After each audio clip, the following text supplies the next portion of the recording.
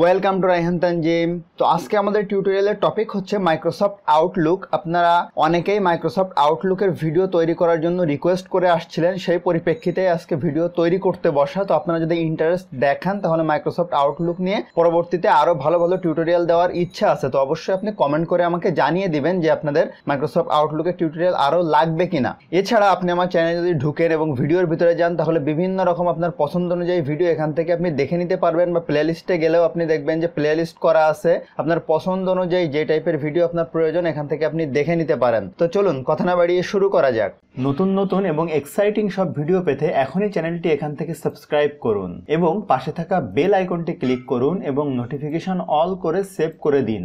Welcome back তো আমরা Microsoft Outlook open করার জন্য আমরা এখানে সার্চ বারে যাচ্ছি এবং আউটলুক লিখে সার্চ করলে আমি আসলে দুই হাজার ষোলো ভার্সনটা ইউজ করতেছি মাইক্রোসফট অফিসের তো আমরা এখানে যেটা করব, যে ইমেইলটা আমরা আমাদের আউটলুকের সাথে কানেক্ট করতে চাই, সেই মেইলটা এখানে দিতে হবে। বিভিন্ন মেইল কানেক্ট করার পদ্ধতি একটু ভিন্ন। আজকে আমরা কথা বলব কীভাবে একটি জিমেইল কানেক্ট করা যায়। হ্যাঁ আপনি চাইলে আপনার যেগুলো ডোমেইন হোস্টিং এর যে মেইলগুলো আছে, যেমন আপনার ওয়েবসাইটের আন্ডারে যে মেইলগুলো আছে, সেইগুলো আপনি আউটলুকে কানেক্ট করে নিতে পারেন। আজকের এই ভিডিওটা দেখলে আপনি মোটামুটি সকল মেইল কানেক্ট করা শিখে যাবেন। তো আউটলুক ওপেন করার পরে আপনি যে ভার্সনে ইউজ করেন না কেন, মোটামুটি একটা ইন্টারফেস আসবে। কেউ হয়তো একবারে আপনাকে মেইল পাসওয়ার্ড দিতে বলবে, কেউ আপনাকে ধাপে ধাপে বলবে। তো, আমি যেহেতু ষোলো ইউজ করতেছি, এখানকার ইন্টারফেসটা এরকম। আপনি এটা দেখলে অন্যগুলাও পেরে যাবেন, আশা করি, ঠিক আছে? তো, আমরা এখন যেটা করব, আমি এখানে মেইলটা দিব। যে মেইলটা আমি এখানে কানেক্ট করতে চাই। তো আমি আমার মেইলটা এখানে লিখে ফেললাম। এর ভিতরে আমাদেরকে একটু কাজ করতে হবে। এই মেইলটা এখন একটু ওপেন করতে হবে। তো আমরা আমাদের মেইলটা ওপেন করা আছে এখানে। যাওয়ার পরে আমরা এই মেইলে গিয়ে এই যে সেটিং অপশনে যাব সেটিং এর থেকে এখানে সেটিং অপশনে যাব।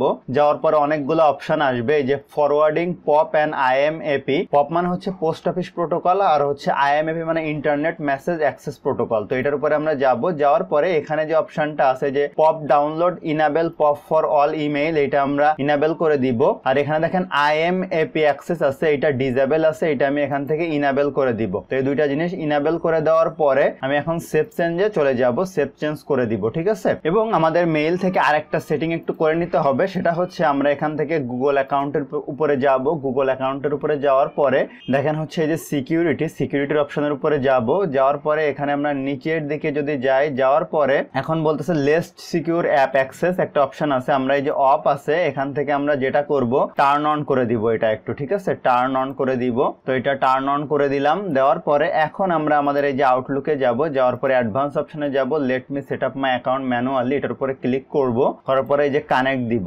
এখন দেখেন, এখানে অনেকগুলো অপশন আছে। আমরা এটা আইএমএপি আকারে করতে চাই ইন্টারনেট মেসেজ অ্যাক্সেস প্রোটোকল তো আমরা এই যে আইএমএপি এর উপরে ক্লিক করলাম। ক্লিক করার পরে আমাদেরকে এখানে পাসওয়ার্ড দিতে বলতেছে। তো আমরা এখানে আমাদের পাসওয়ার্ডটা দিয়ে নিচ্ছি। নেওয়ার পরে কানেক্টের উপরে ক্লিক করলাম। এখন এটা কানেক্ট হওয়া শুরু করবে। তো দেখেন আপনি যদি আরেকটা ইমেইল অ্যাড্রেস এখানে কানেক্ট করতে চান, সেক্ষেত্রে এনাদার ইমেইল অ্যাড্রেস এখানে দিতে পারেন। তো আমার আসলে আর দরকার নেই আইএমএপি এইটাই আমি শুধু কানেক্ট করতে চাচ্ছি। একটা ইমেইল অ্যাকাউন্ট আমি এখানে ডান দিয়ে দিলাম। তো এখন আমাদের ডান দেওয়ার পরে আউটলুকটা ওপেন হওয়া শুরু করবে। তো খেয়াল করেন, আমাদের এই যে, এই জায়গায় Tanzimul dot triply at the rate of Gmail dot com এই যে মেইলটা এটা কিন্তু এখানে কানেক্ট হয়ে গেছে। এখন যেটা হবে, সেটা হচ্ছে যে, এই মেইলে এই যে ইনবক্সে মেইল আসা শুরু করবে। একটু সময় নিবে আপডেট হওয়ার জন্য। তো এই দেখেন মেইল আসা শুরু করছে ইনবক্সে তিপ্পান্নটা মেইল এখানে আমার যে মেইলগুলা ছিল, ওই ইনবক্সে আমি আপনাদেরকে যদি একটু দেখাই, আমার যে মেইল অ্যাকাউন্টটা ছিল, দেখেন এই যে এখানে যে মেইলগুলা ছিল, এই মেইলগুলা এখানে কিন্তু আসা শুরু করছে, এই যে আমার আউটলুক ডট কমে এই যে মেইলগুলো আসা এখানে শুরু করছে, ঠিক আছে? এখন আমরা যদি কোনো মেইল এখান থেকে পাঠাইতে চাই, সেক্ষেত্রে আমরা আসলে কি করব? আমরা মেইল পাঠাইতে চাইলে আমরা এখানে যে নিউ মেইল অপশানে যাব নিউ মেইল অপশানে যাওয়ার পর, এই যে এরকম একটা পপ আপ ওপেন হবে। দেখেন সব থেকে সুবিধা হচ্ছে আপনার এখান থেকে মেইল পাঠানোর জন্য একদম মাইক্রোসফট ওয়ার্ডের মতো আপনি একটা ইন্টারফেস এখানে পাচ্ছেন। আপনার ইচ্ছা মতো অ্যাটাচ করা এই যে অ্যাটাচ করা, এরপরে বড়, ছোট বুলেট অ্যাড করা, আপনি কিন্তু জিমেইলে যখন মেইল লিখতে যাবেন, তখন কিন্তু এই টাইপের কোনো অপশন আপনি পাবেন না। তো খুব সহজেই আপনি চাইলে এখান থেকে কিন্তু মেইল সেন্ড করতে পারবেন আপনার ইচ্ছা মতো অপশন এখান থেকে আপনি চেঞ্জ করে, ঠিক আছে? তো আপনি যদি চান যে আপনার এই মেইল অ্যাকাউন্টটা ডিলেট করবেন বা অন্য কিছু করবেন, সেক্ষেত্রে যেটা করবেন, এই যে অ্যাকাউন্ট সেটিং এর উপরে যাবেন। আমি আবারও দেখাচ্ছি যে ফাইলে যাবেন, যাওয়ার পরে এই যে অ্যাকাউন্ট সেটিং উপরে যাবেন, এই যে অ্যাকাউন্ট সেটিং এর উপরে গেলাম। এখন দেখেন এই যে তানজিমুল ডট ট্রিপলি এটা যদি আপনি এখান থেকে রিমুভ করে দেন, সেক্ষেত্রে আপনি রিমুভ করে দিতে পারেন। এখানে দেখেন আরও অনেকগুলো অপশন আছে। তো আমি আপনাদেরকে আরেকটা জিনিস বলে দেই, সেটা হচ্ছে আপনি যদি মাইক্রোসফট অফিসের দুই হাজার ষোলো ভার্সন ইউজ না করে